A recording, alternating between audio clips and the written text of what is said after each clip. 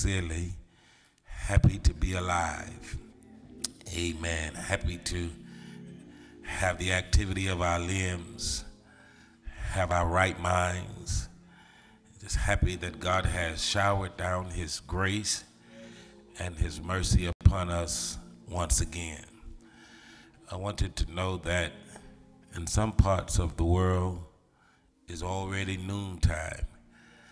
And so, my brothers and sisters, we don't have to worry about waking God up this morning. He's been up all night and he's still awake. So, come on, let's make some noise. Amen. And give God the rightful praise that he so deserves.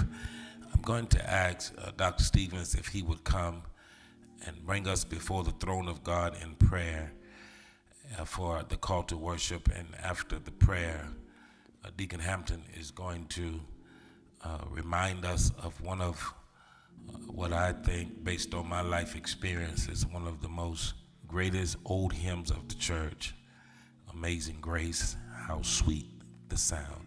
Dr. Stevens.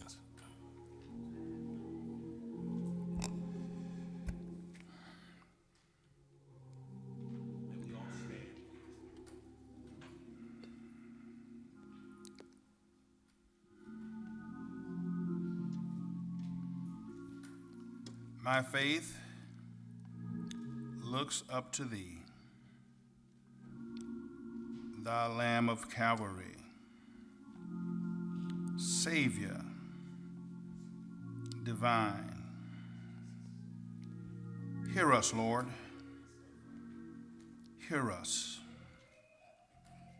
as we come before your throne, not worthy or deserving but because of your grace and your mercy, we thank you. We thank you for your son Jesus, who has given us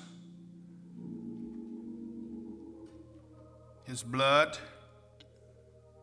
to cleanse us from all unrighteousness and the forgiveness of our sins. Thank you. We thank you for this shepherd, our pastor, who has been leading us and guiding us and teaching us and empowering us to follow hard after thee. Thank you. Thank you for his family his wife, the first lady who stands by his side,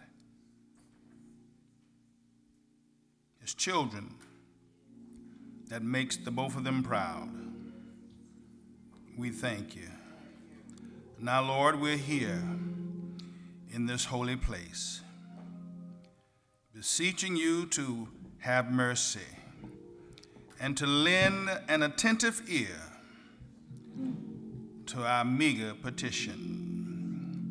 Give strengthening to our words as we now make ready to worship and praise you, to lift your name, to magnify your name. Hallelujah, to ascribe majesty and power to your name. Our souls rejoice and we say, Thank you. You've brought us from a mighty, mighty long way. Look what you did, Lord. You touched us early this morning before the news got back to glory, shook us to the very sense of our duty, and you brought us to this praise, to this place of praise and thanksgiving. Thank you, Lord. You, you looked after us and you spared us sorrow and affliction. Instead, you gave us happiness and joy. Thank you, Lord. Now we're ready to praise your name. We're ready to lift your name. We're ready to call on your name. Thank you. As you said in your word, that every knee will bow and every tongue will confess that Jesus, Jesus Just at the sound of that name, Jesus, devils will flee and fly. But other than that, Father God, at the sound of that name, sick folk get healed. Confused people have their right minds again. And there's a place for healing and health and salvation. So as we praise your name this morning, we say thank you. As we lift your name this morning, we say thank you. Touch our hearts, touch our minds. Let every heart in the building say amen, amen, and amen. Remain standing with us. Come to the old hymn of the church, number 135. Number 135 in the red hymnal, Amazing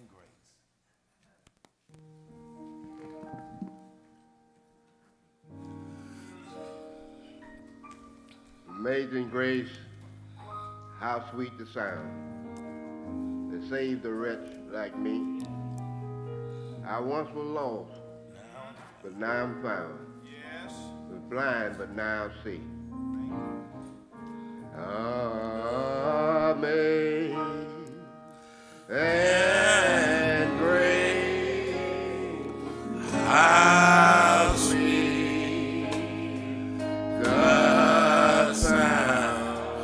135.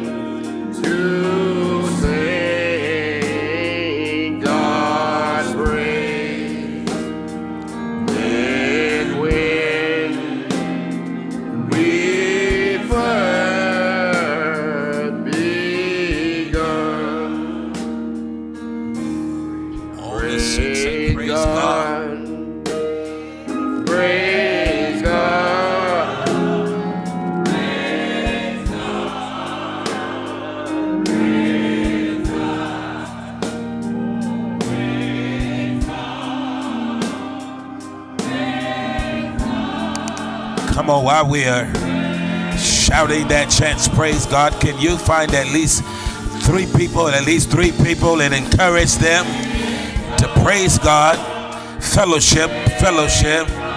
Mm-hmm. Praise God. Praise God. Praise God. Yeah, yeah. Praise God. Come on, let's lift that again. Amen. All over the sanctuary.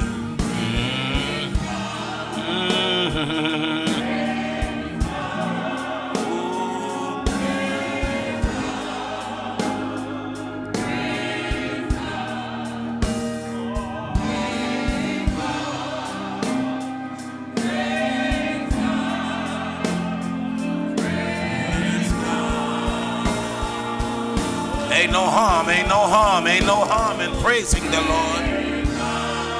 My mind, pray.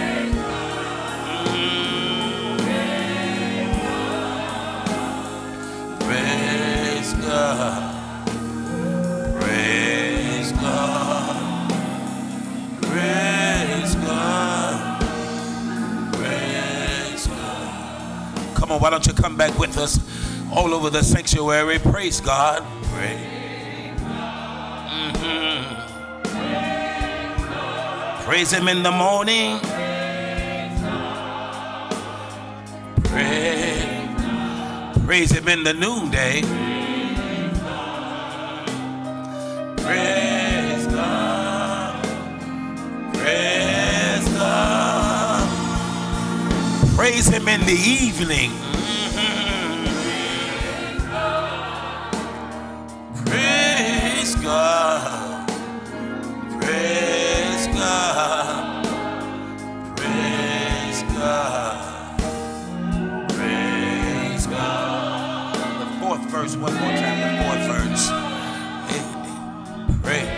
Come on, verse number four, one more time. When we've been there 10,000 years. When we've been there ten thousand, bright shining as the sun. Yeah,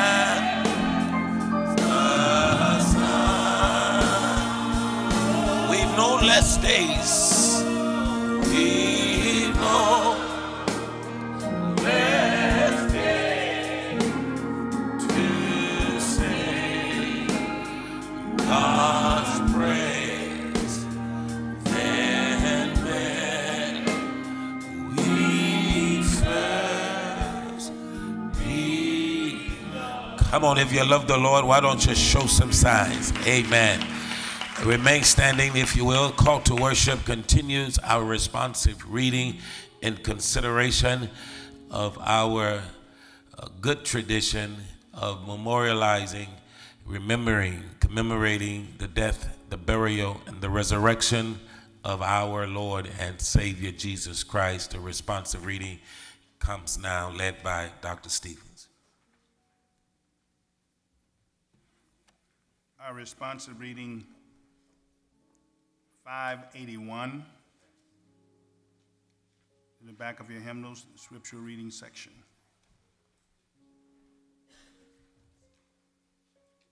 The election for this responsive reading has been selected from 1 Corinthians, the 11th chapter, 23 to, through 34.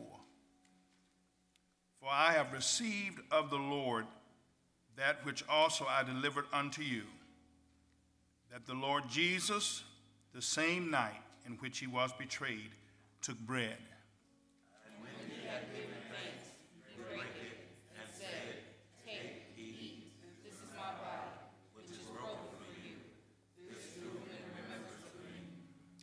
After the same manner also he took the cup when he had supped, saying, This cup is the New Testament of my blood.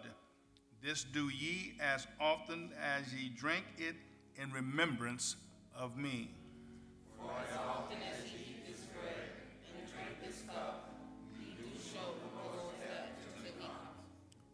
Wherefore, whosoever shall eat this bread and drink this cup of the Lord unworthily shall be guilty of the body and blood of the Lord.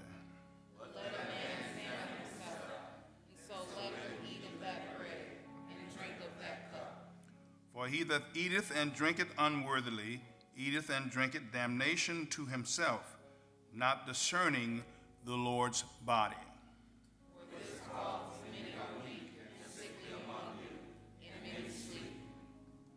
For if we would judge ourselves, we should not be judged.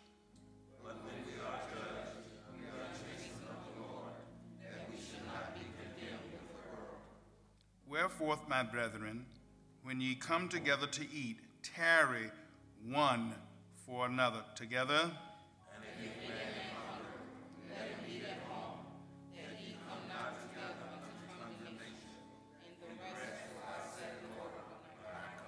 so bless the reading of the word. Amen. You may be seated.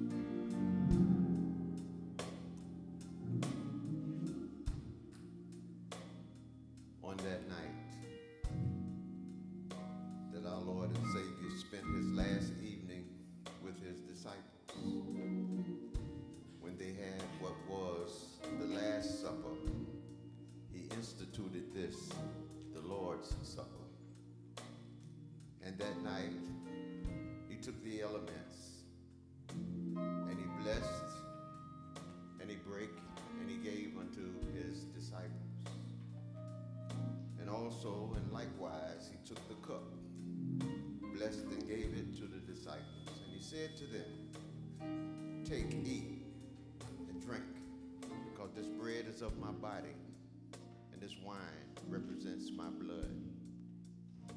And on that evening, before instituting this, he had prayer, and he prayed for these elements, just as we will today. Let us bow our heads. Eternal Father, we come before you this morning for one divine purpose, under one roof, that you would, Father God, just touch each and every one of us in this moment. We ask, Father God, that you bless this bread and this wine as you did on that night in the upper room. That we all, Father God, may have a right to that tree of life. Bless it now as you would have it fit, as we become partakers of this, Father God. We just thank you for this blessing that you have set forth that we may become to you in such a way. Cleanse us now. In Jesus' name we pray. Amen.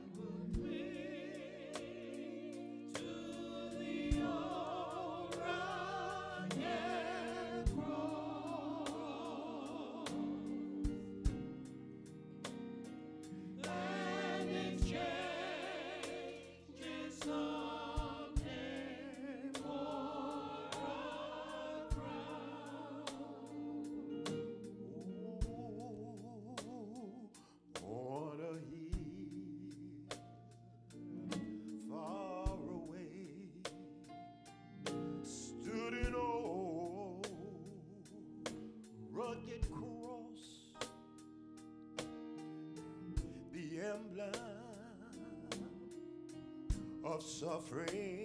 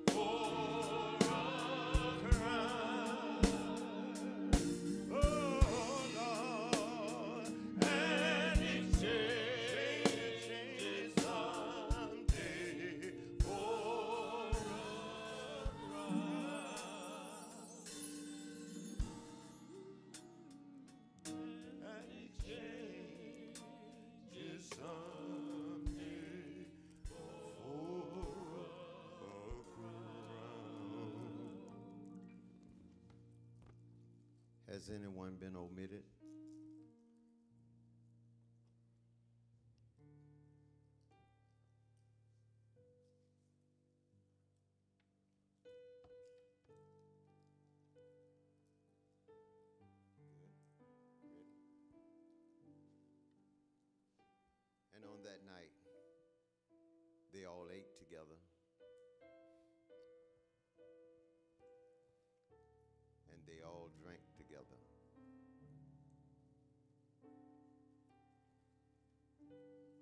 Afterwards, they sung a hymn and went into the Garden of Gethsemane.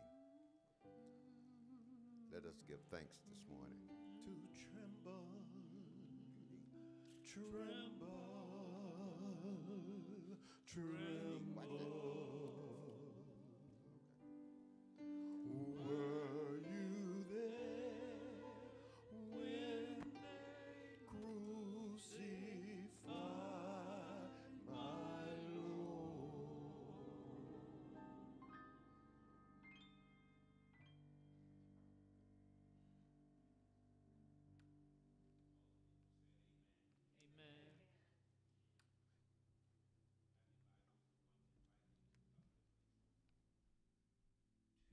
New Testament book of Philippians, chapter 1.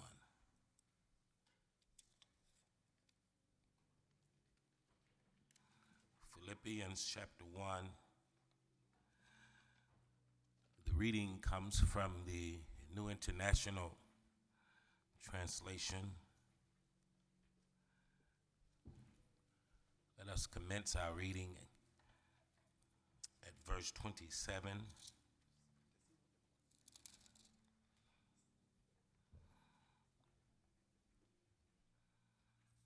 Chapter 1.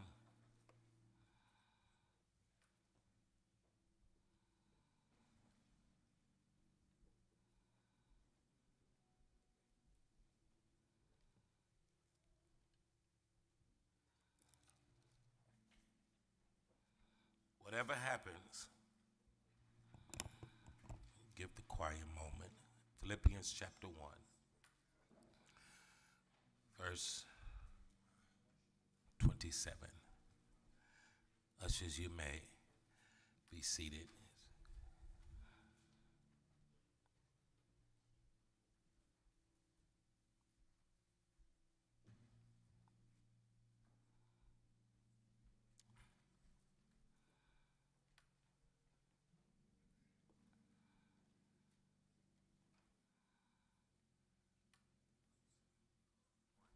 Chapter 1, verse 27.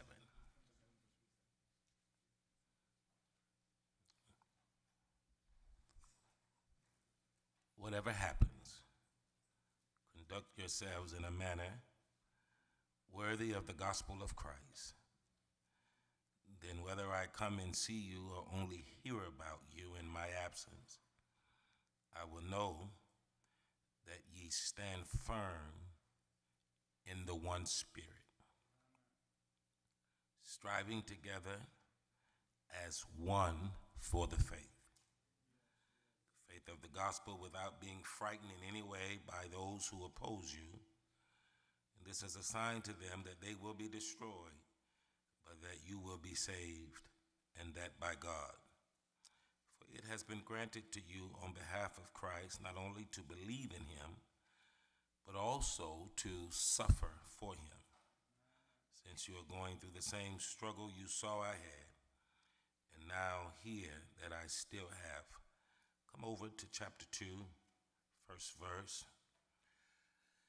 Therefore, if you have any encouragement from being united with Christ, if any comfort, comfort for his love, if any common sharing in the Spirit, if any tenderness and compassion, then make my joy complete by being like minded, having the same love, being one in spirit and of one mind. Do nothing out of selfish ambition or vain conceit. Rather, in humility, value others above yourselves. Not looking to your own interests, but each of you to the interests of others. In your relationships with one another, have the same mindset as Christ Jesus, who being in very nature God did not consider equality with God something, something to be used to his own advantage. Rather, he made himself nothing by taking the very nature of a servant, being made in human likeness and being found in appearance as a man. He humbled himself by becoming obedient to death, even death on a cross. Therefore, God exalted him to the highest place and gave him the name that is above every name, that at the name of Jesus every knee should bow in heaven and on earth and under the earth, and every tongue acknowledge that Jesus Christ is Lord, to the glory of God the Father. Chapter 2, verse 5 In your relationship with one another, have the same mindset as Christ Jesus. Let the church say amen. amen. Only for the purpose of you, the audience, being able to track us and trace us, we give a topic. I want to tag this message. I can only act like Christ when I learn to think like Christ. I can I can only act like Christ, behave like Christ when I learn how to think like Christ.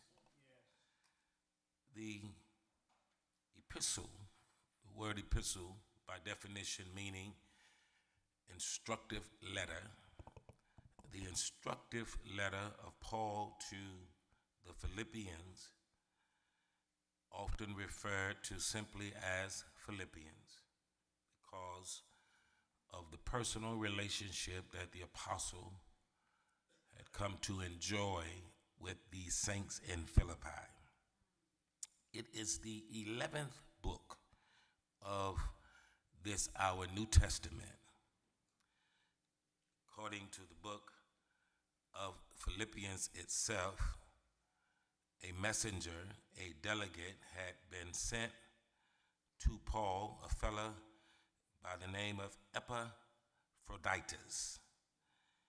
He, according to the second chapter of Philippians, verses 25 through 30, he was sent by the saints, by the local church in Philippi to share their gifts and show support with them towards the apostle Paul. It's often I don't don't make it a habit of throwing stones, Sister Eagle. Where's she? But I think you would relate to this, and this is not a thrones throw, Deacon Hampton. But hear me, outside of the message, we've come to an age now where oftentimes uh, people are asking, what does the convention, what does the association do for us? I had in my notes when nobody gonna say amen. But brothers and sisters, I would have us to know that churches make up associations. Churches, Brother Rigsby, makes up conventions. And the model in the scripture is not what they do for us, is what we do for the work of the collective effort. It's in the text, amen, somebody. The saints in Philippi were not standing waiting for Paul and his great missionary work, this collaborate, collective effort that he had gathered saints from all over, all over the known world within the body of Christ to send him something. They sent something to Paul. Y'all ought to say amen. And so this messenger from Philippi, he has been sent Paul. He has gifts in his hand, and his purpose is to show the apostle that we, the local church in Philippi, we, the Philippians, we support the spreading of the gospel throughout the known world. If you had, if you had a pen and a piece of paper, I would suggest that you investigate Philippians chapter 1, verses 3 through 5, Philippians chapter 2, verse 30, and Philippians chapter 4, verses 10 through 19. If, if, if, you had, if you had a note taking tool, amen, I would suggest that we took a look at Philippians chapter 1, verses 3 through 5, Philippians chapter 2, verse 30, and Philippians chapter 4, verses 10 through 19. Paul, the apostle, or the letter here in the book of uh, Philippians, the 25th verse of chapter 1, he says, I think, I think that it is necessary. And if you would chime in and hear, and hear the spirit of this, this letter, he says, I think that it is necessary for me to send back to you your messenger. Listen, Paul has been having conversation. He's been able to hear the situations, the scenario, uh, the environment that's taking place in that local church there in Philippi. He says, I'm going to send Epaphroditus back, co-worker, my fellow soldier, and he's also your messenger. And I'm, you, you, you sent him to take care of my needs. That's what he says in verse 25 of the first chapter. If you have it in your Bibles, say amen. Now watch verse 26 and hear, hear the passion behind Paul's writing. He says, For he longs for all of you, and he is distressed. He is distressed because you heard that he was ill. He desires to be with you, and he's somewhat stressed because perhaps you're concerned about him. He became sick while on his journey to come and see about me, the apostle says. Verse 27 Indeed, he was ill and almost died, but God had mercy on him. And not on him only, but also on me, to spare me sorrow upon sorrow. Therefore, I am all the more eager to send him back so that when you see him again, you will be glad. And, and, and because he is there with you, Paul says, I will have less anxiety. Watch this. There's a reason. Something is going on here. I don't know if you I don't know if you're starting to feel the vibe. 29. So then welcome him in the Lord with great joy and and and honor people like him. Wish I knew y'all were with me. Honor people who love the work of the church so much that that they would carry the message, they would carry the support, they would be messengers and delegates to keep the local body connected with the universal body. Respect people like him. Y'all ain't saying nothing, amen. And welcome him in great joy, verse 29, and honor people like verse 30, because he almost died. Almost died. He almost died not for selfish gain, but he almost died for the work of Christ. He risked his life to make up for the help you yourselves could not give me. I wish somebody was reading the Bible with me. I want you to understand this, brothers and sisters, during the execution of his responsibilities of travel to deliver their gift. Philippians 4 17, note takers. Philippians 4 17, this messenger, Epaphroditus, he contracted some life threatening, weakening illness.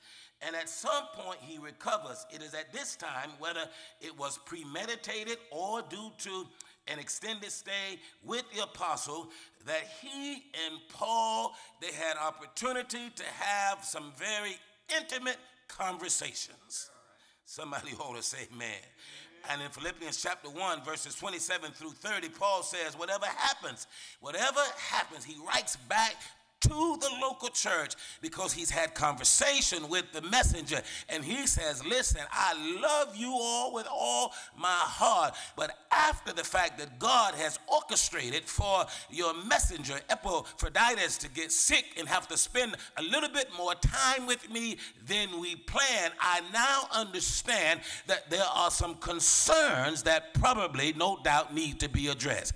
And paul says this in the 27th verse of Philippians chapter 1, whatever happens, whatever you're going through, whatever you're having, having to deal with, I need you all to understand this. It is very important that you behave yourselves in the same way that Christ would behave himself. Isn't it something when you love somebody, when you've exalted somebody, when you've put somebody on a high horse, and then you realize that that somebody is human just like you are. I wish I had just a few amens in the house. And Paul says, Philippians, y'all know I love you all. Y'all know that I've got this personal passion for you all, but I've had opportunity to have conversation with your messenger, and I understand that the same devil that's been bothering me, he's bothering you. But can I say something to you all? However you handle the situation, please, please, please handle it the same way Jesus would handle it.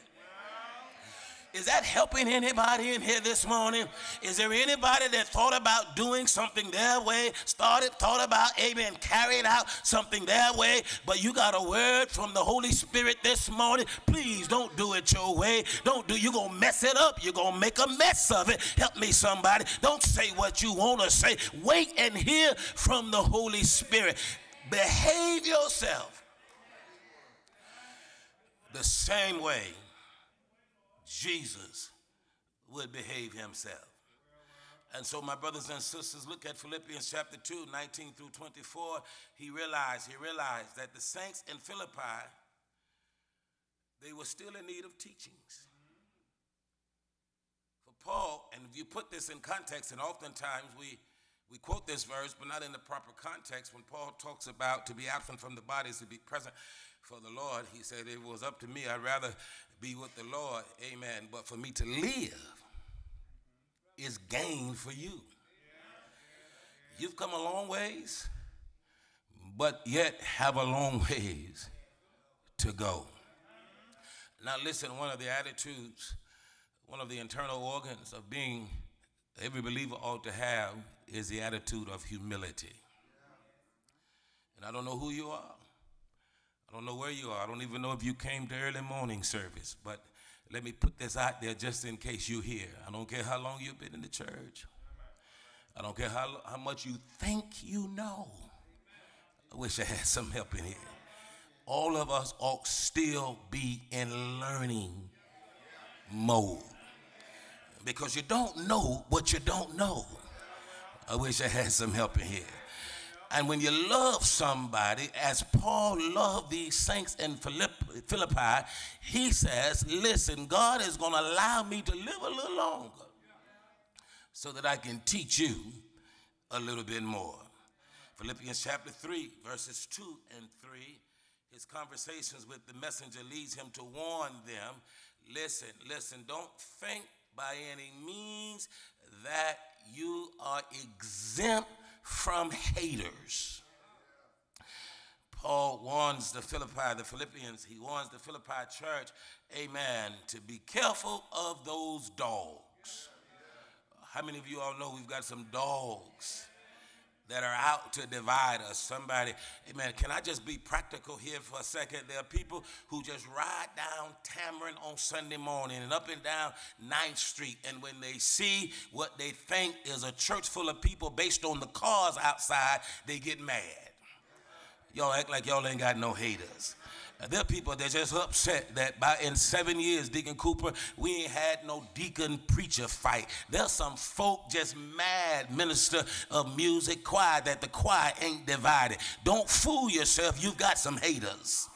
Uh, there's some folk, if it ain't in the church, you've got some haters, amen, that individually just want to see you came down. Brother Rigsby, they don't think you deserve to retire and still have life, health, and strength. All of us ought to recognize that there are haters who are out there. And Paul says, watch those dogs. Can the church say amen? Philippians chapter 4, verse 2 and 3. And let me tell you something that the world can't help us, they can't hurt us rather on the outside as much as we can hurt ourselves on the inside. And here's the thing that really got me about this text, Reverend Williams, amen, as we investigated Paul, fourth chapter of Paul's letter to the Philippians today, there's some internal issues going on. Paul loves this church. If you had your notes, I promise you, you wish you wrote this one down. In Philippians chapter 4, verses 2 and 3, Paul plugs this piece in. He says, Listen, and I'm pleading, I'm begging with those two sisters by the name of Euodia and Syntyche to be of the same mind within the Lord. Yes, I ask you, my true companion, help these sisters. Don't talk about them. Don't get on one side and another one get on another side because the church can do more damage to itself if we start fighting and siding and clicking. Y'all ain't helping me this morning on the inside. We've got haters on the outside that's already trying to destroy us, but the devil can't hurt us. Amen. We can hurt ourselves. And I need those two sisters to sit down and get that thing together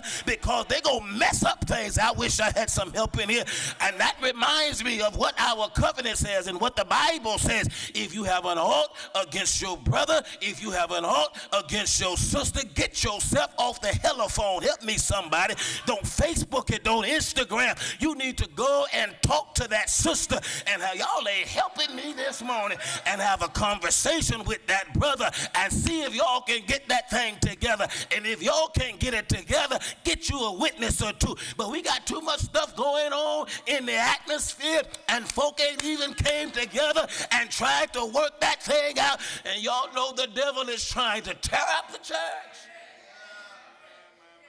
But we can't act like Jesus until we learn how to think like him. Y'all ain't gonna preach me hard this morning. There's a teaching word here. I hope somebody want to hear a teaching word this morning. You can't act like Jesus until we learn how to think like him. And so, the application, the thing that we ought to grab from this letter this morning, is that we've got to learn or we have to apply or execute turning our knowledge into action. Can the church say, turn your knowledge into action? Philippians chapter 4, the ninth verse. Those of you that still have your Bibles, in 4 9, Listen to what the apostle says.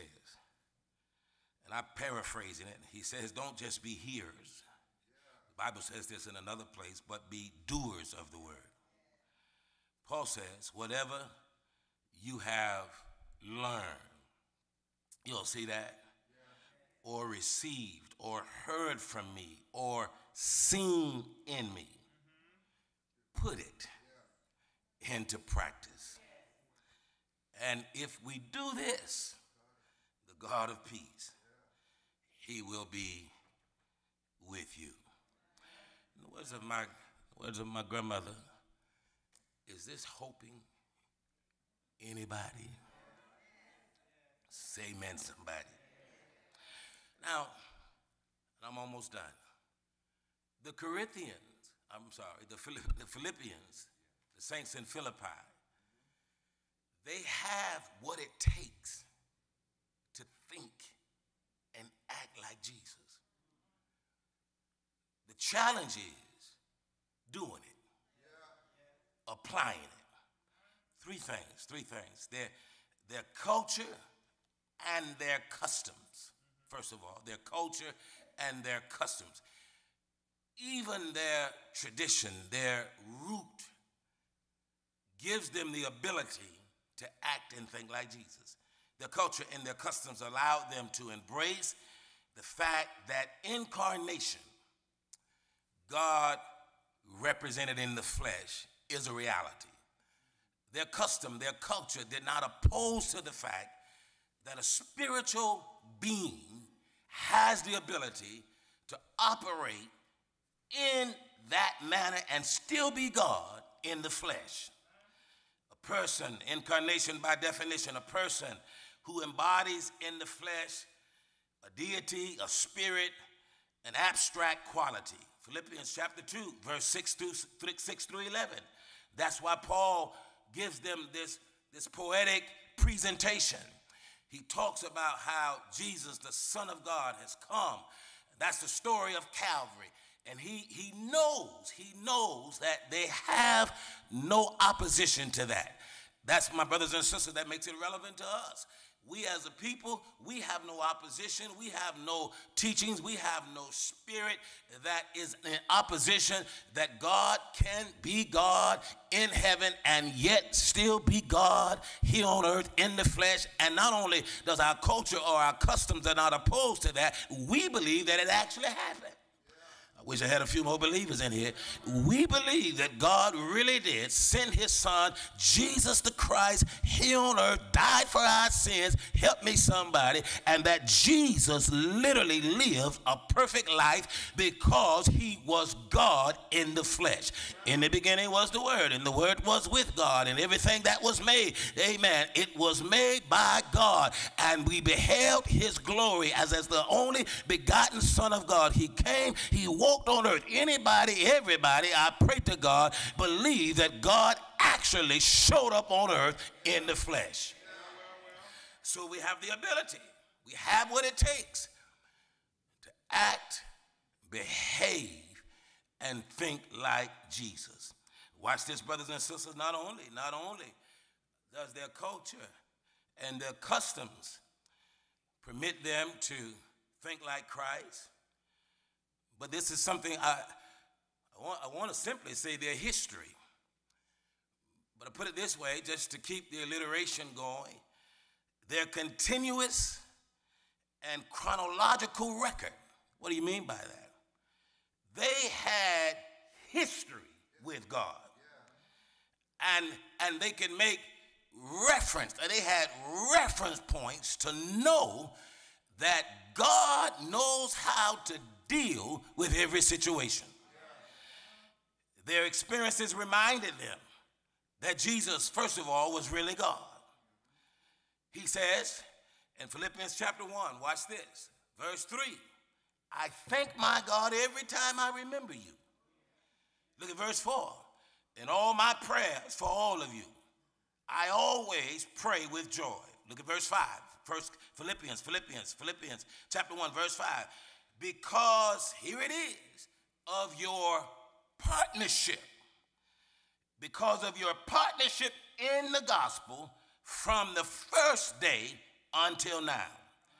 Verse 6 being confident of this, that he who began a good work in you will carry it on to completion until the day of Christ.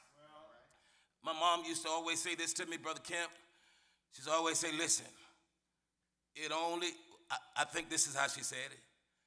Trouble is easy to get in, but hard to get out. She, she would remind me, Deacon Cooper, she said, listen, baby, you've done a whole lot of good. You've done a whole lot of good. But people, people will easily forget your good when you do one, one bad thing. And that's why Paul says in verse 27, listen, I know, I know you've got some haters. I know you have some disagreements, but be careful how you handle this situation. Think like Christ. Investigate how is it that Christ would handle this situation. I, I, it's in my spirit, so I guess it's going to come out in the pulpit. Uh, just the other day, one of my crazy Flora Philpott crazy son. He got on Facebook, y'all, because somebody threatened him. I hope none of y'all didn't see that. Praise the Lord, I prayed hard that y'all wouldn't. He got on Facebook, Brother Risby, because, because somebody threatened him. I, I, I thought we, we learned that, amen, sticks and stones break my bones. Words don't don't hurt us. Sister Bullet, he got on Facebook with my last name. Say amen, somebody. Want everybody to know the corner and the street that he was on and calling out the perpetrator. Come, come get me. You said some blood gonna be shed. You, you, you. And let me tell y'all something. He used some words that us Sunday churchgoers don't use on Sunday. Some of y'all caught that, amen on Facebook Live. Can I tell you something? Listen, if you heard his story, you might be tempted to agree with him, agree with his anger, his reason for being angry. And, and, and, and, and perhaps we can justify our reason for being angry. But we cannot justify if we don't handle our anger the right way. Can the church say amen? I, I just wish, Apostle Paul says, I wish, amen, that y'all come to the conclusion, however you're going to handle this situation, that you handle it in the way that Jesus would handle it. I want to act like Jesus, but I can't act like Jesus until I learn how to think like him.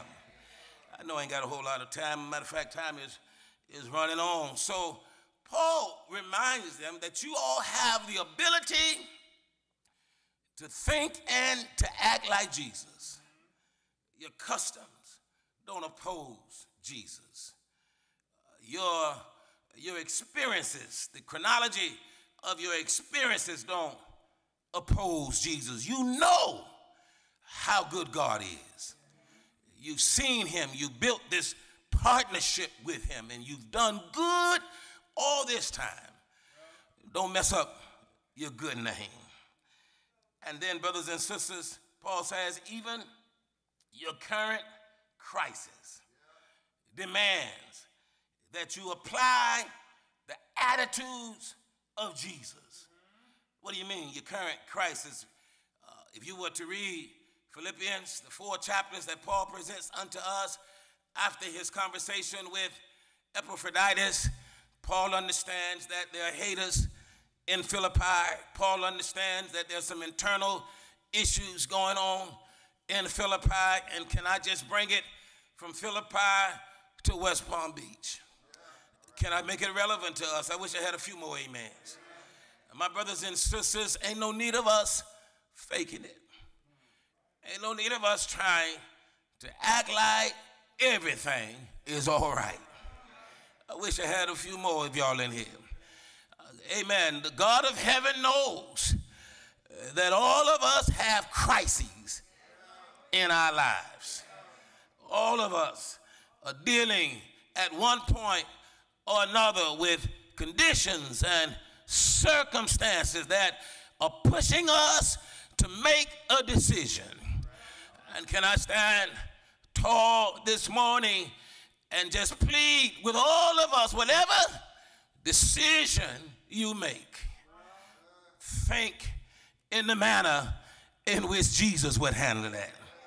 That ain't gonna make you shout, but it'll sure enough make you say, hmm. Because I don't know what you're dealing with. I don't know what's going on in your house.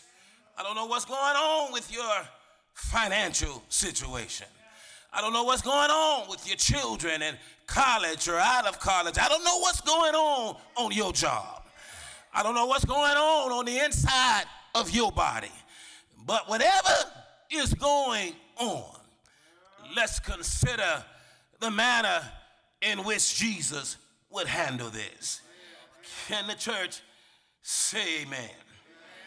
In other words, as I close, let us cease from being only hearers, but be ye also doers of the words. Whatever we've learned from childhood, all of this time we've spent in the church house, all of these sermons that we've heard, whatever we've learned or received or seen in our Christian parents, let us put it into practice. And the God of peace, wish I had a holler, but I ain't got none. He will be with us. Can the church say amen?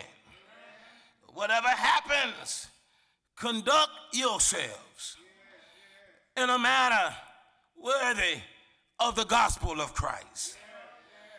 Then when I come and see you or only hear about you, I will know that you still stand fast in the spirit. And don't be afraid of those who oppose you. For God is with you. And if the Lord is with you, what's the whole world against you?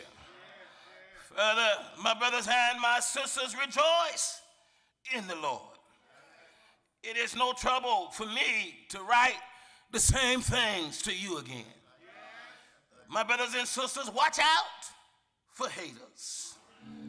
Watch as well as pray. Because everybody ain't gonna like you.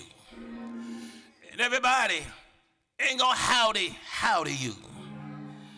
And don't put confidence in your flesh. What that said to me, Deacon Hampton, is that when I go out in the world, don't get caught up on my titles in the flesh. Don't get caught up on reverend and pastor and, and don't get caught up on how long this flesh has been in the church. Because I ought to have some witnesses in here that the flesh don't care how long you've been in the church. The flesh don't care how many Bible studies you've attended. Somebody ought to wave your hand. Your flesh will let you down. Paul says, even I don't get caught up in the flesh. Amen. If I can be saved, I'd be saved by the flesh. I was born on the eighth day. I'm a Pharisee of Pharisees. I've been to the best of schools. Can I tell y'all something? The flesh ain't going to help you. And when you get caught up in a situation, you got to depend on the Almighty God. I like what the old saints used to sing. They used to say, Holy Ghost, don't leave me now. Holy Ghost, don't leave me. Anybody know that we need the Holy Ghost? Y'all ain't gonna make me preach hard. Y'all ain't gonna make me preach hard. Y'all didn't write hard, so I ain't gonna preach hard. But let me tell you something. If it had not been for the Holy Ghost, I would have lost my mind. If it had not been for the Holy Ghost, I'd have went to mama's house and went in mama's room. I know where she keeps her gun. Amen. I'd have grabbed that gun. But thank God for the Holy Ghost. I need you to live a life that's worthy of the gospel. I got to learn how to act like Christ. I've got to learn how to think like Christ. Can the church say yes? Say yes. Say yes. I want to learn how to be like Jesus. And as it relates to how you relate to your brother and your sister, let the mind of Christ be in you. God bless you. God Amen. Let us all stand. The doors of the church, the doors of the house we got are open today. If you are in this place and you have not yet decided to think like Christ, you've decided not yet to surrender your heart to Jesus. We extend this opportunity and this invitation for you to make this public commitment. As we stand and as we sing, we, we are opening this opportunity for any person in this place uh, to commit to Jesus so that he can sanctify your thinking. And as he does so, he can give you power over your flesh to fulfill his will in your life. So now is your opportunity as we sing.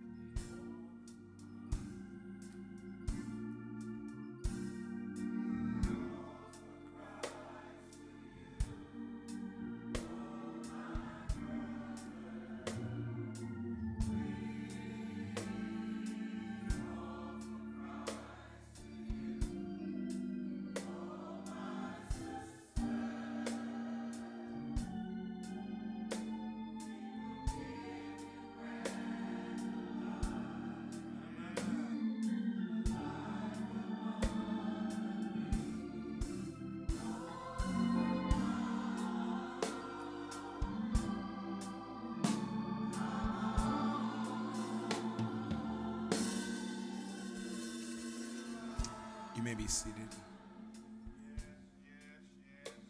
Thank you, Reverend Williams. Thank you, our brothers and sisters. We want to behave ourselves in a manner that is pleasing unto Christ. And in order to do that, we have to have a mindset like Christ. Amen. Before we move forward with our offering, we want Sister Bryant and Sister Griggs to come. I saw Sister Griggs, I saw, amen, right in front of me. And they will um, tell us what is about to happen with our young people now that the summer months are upon us. I think Friday was the last day of school. Amen, amen, amen. Dr. Nance, you should see all of the, the new teachers, how happy they are. Amen. Sister Kiera back there, she just shouting hallelujah.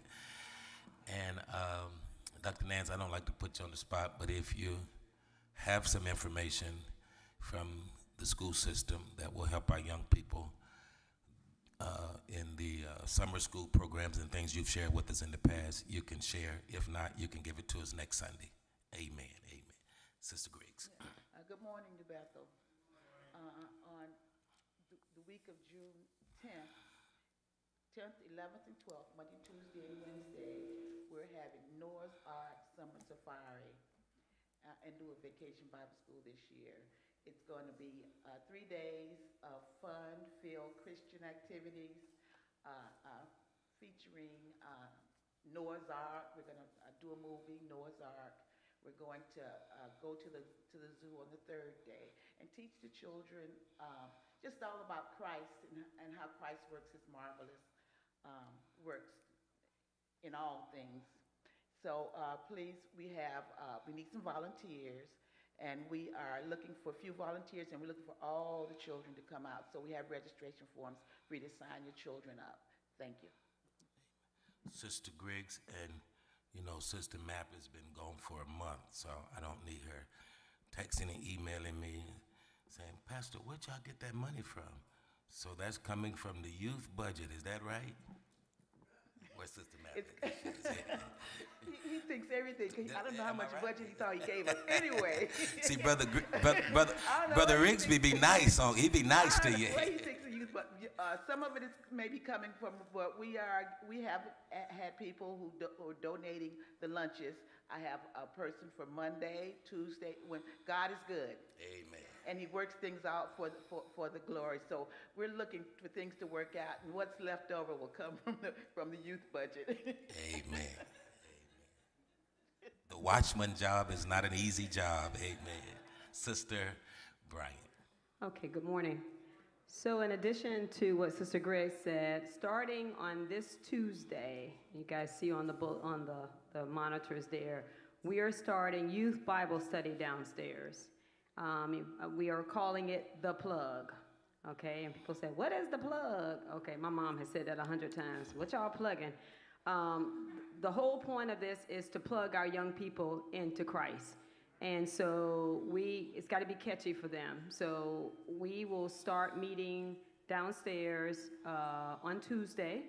Uh, there are flyers that we'll be passing out to our, our students today that basically they will be coming home to you. So if you have a child uh, that's a part of Fresh Church, they will be pushing you to, to uh, bring them because there's incentives. If your child comes to all eight sessions, there will be some type of incentive of, I don't know what's going on here, incentive. Um, so just so you know that, parents, your kids are going to push you. And that means that you, you come to Sunday, you come to prayer Bible study upstairs while the kids are downstairs. Y'all get it? All right. So that's the plan there. And then in addition to that, Pastor had asked me, I, people ask me what my day job is. I work for Florida Power and Light, uh, which is the utility company. Do you all have these? We put these. Sister, she's going to speak briefly to this hurricane kit. Ushers, will you help us? They're out there somewhere. So on your way out this morning, be sure to pick up In the vestibule. a, a checklist. Uh, this is hurricane season, guys. Um, when hurricanes come, you'll notice that the, the shelves are empty, they're bare. So we don't want our members or any of our family and friends waiting to get their supplies. There's tax free right now. This is the time for you to go out and buy your batteries, buy your tarps. Don't wait.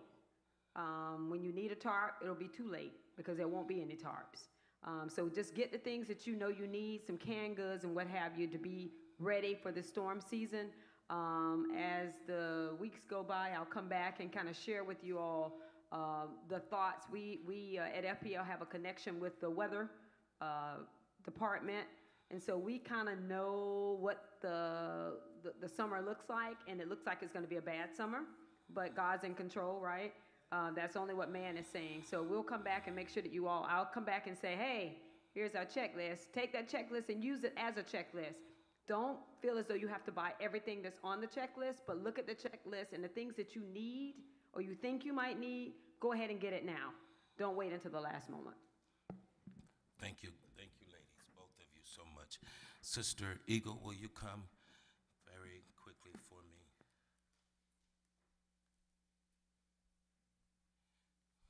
Brother Lester, Sister Eagle has something for you, sir. Amen. Sister Philpott was the instructor when Brother Lester completed membership orientation. So, as much as he said that,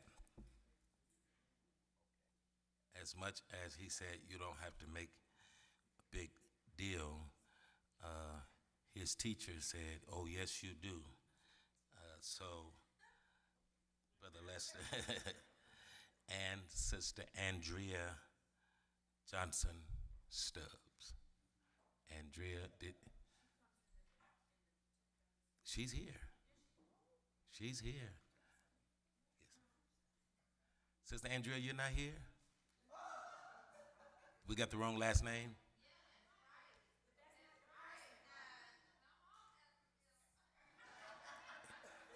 There's an Andrea and Brittany sitting right there, right?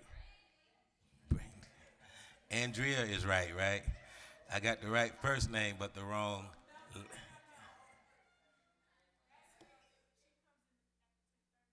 Okay, all right. All right, Brother Lester, it's your show. Look at Deacon Cooper over there talking about, man, Deacon Cooper, you know those ladies' names? At least I be trying.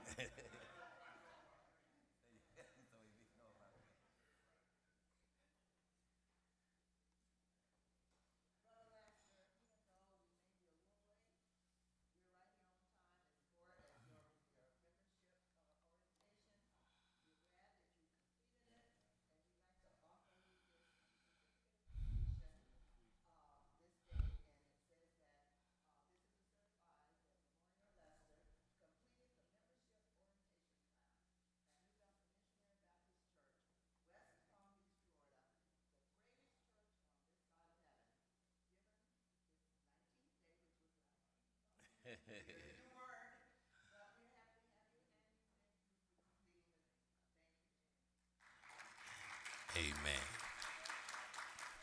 Our trustee ministry is coming now. If you haven't, if you had, if you hadn't heard, uh, we have postponed the May business meeting, and we want to be transparent. One of the main reasons, uh, when our assistant administrative staff person abruptly had to move, it threw us in a little fizzle.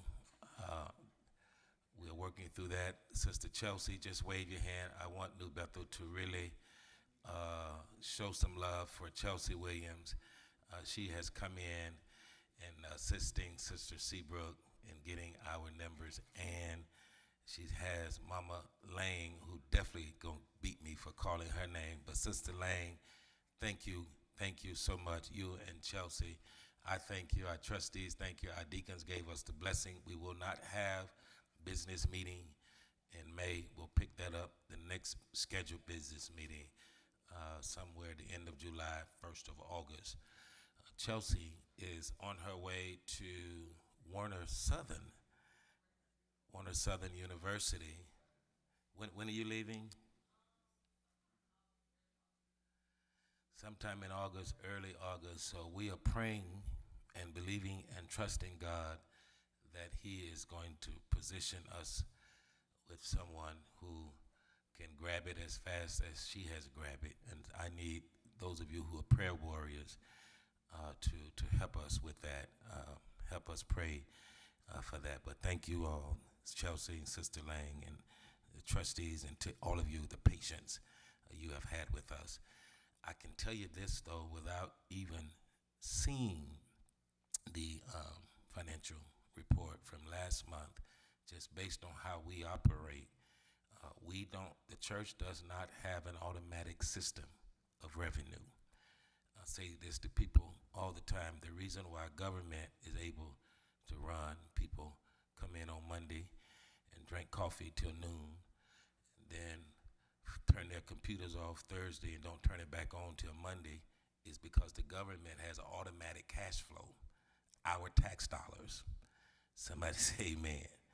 The church does not have that. The church is totally dependent upon week in and week out, Monday in and Monday, a month in and month out, on the gifts, the contributions of the people. And, and I say this in love. I say this in love. I mean this, Sister Griggs. Even when we say, well, I'm going to take my contribution and help the children or do this, you set us back if you do that because the totality governing of the church is dependent upon the gifts of the people. We should add a few more amens. And so this is the first Sunday, the first uh, Sunday of the month of June, and we need a million dollars. So can y'all bring us a million dollars? If we ever get a million dollars, we'll be good for the rest of the year. Let the church say amen. Uh, ushers, will you come? Ushers, will you come? Ushers, will you come and give us directions? Don't give up on God because God won't give up on you. We can't beat God giving. Even if we try, the more we give, the more He is going to give back to us. And giving, giving of our gifts is a symbol, a sign, a measure of our love towards God. Amen. Brother Terry.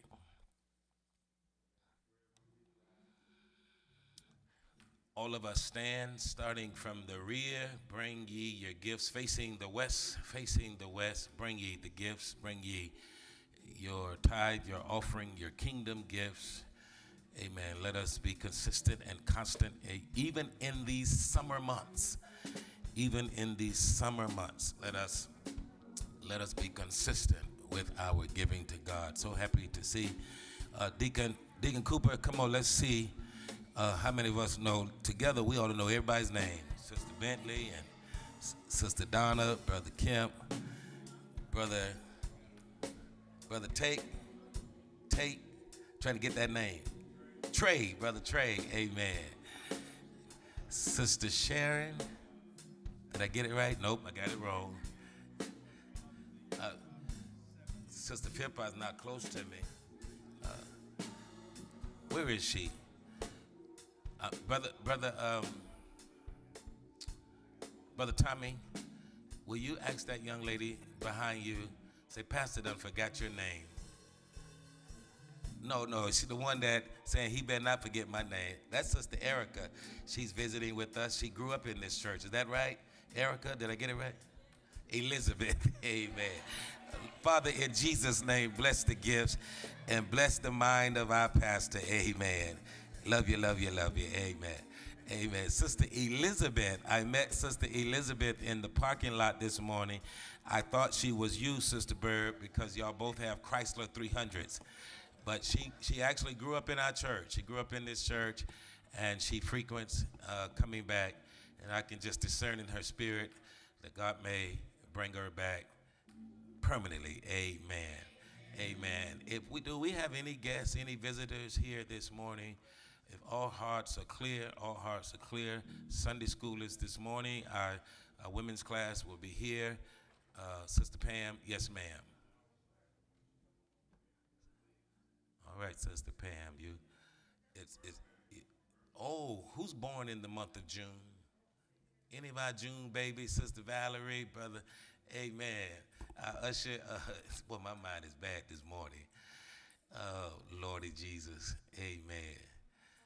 Brother Parker, amen. Happy birthday, happy birthday, happy birthday. Sister Bullock, your birthday's in June? You gave birth, the, the young man that just left? Amen. Amen.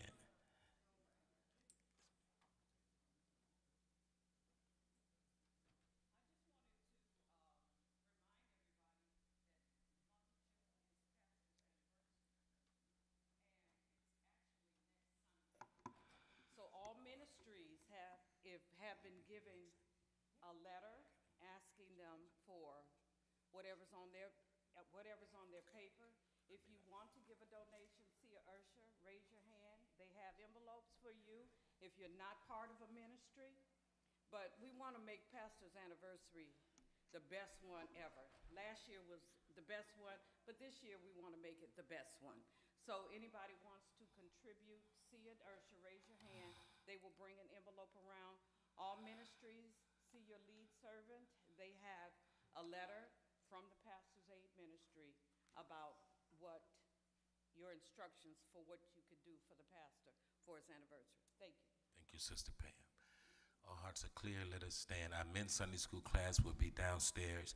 Sister uh, Philpott, Reverend Allen, if and when you see Sister Eagle come to your class, class, will you give her at least three minutes to talk about the upcoming congresses of Christian education? Our, nas- our uh, National Congress in June, our District Congress in July, and our State Congress in August. Uh, June, July, and August, she will be talking about the District Congress is right here in Palm Beach County at the St. John uh, Missionary Baptist Church. And we're hoping, uh, Sister Esther, uh, Deacon Henson, that we could really push and promote our young adults to participate in that in some form or fashion.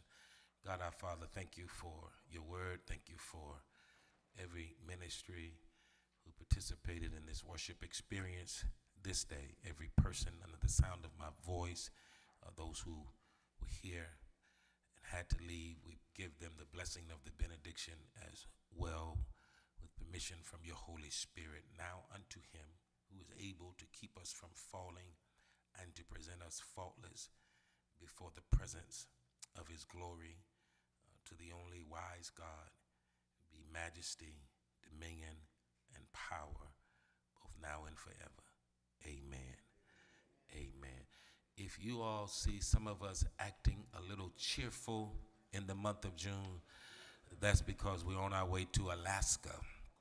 Amen. Those of us who are cruising, we are, our hearts, our minds are just keeping us, keeping us excited. Our Sunday school superintendent has arrived, Deacon Williams. Amen. And we're going to yield to him, all of the Sunday school participants, in consideration that we're already over time. Will you give Deacon, Deacon Williams your attention?